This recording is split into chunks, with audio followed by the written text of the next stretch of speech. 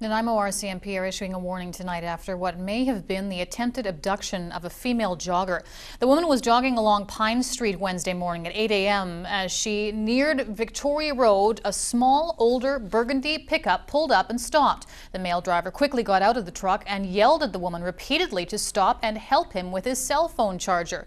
He never actually produced a phone. The woman ran past him, at which point he returned to his truck and sped away. The male is described as in being his 60s or 70s. He had a white trimmed beard or mustache, and he had a, a dark brimmed hat on and dark colored shirt and some suspenders.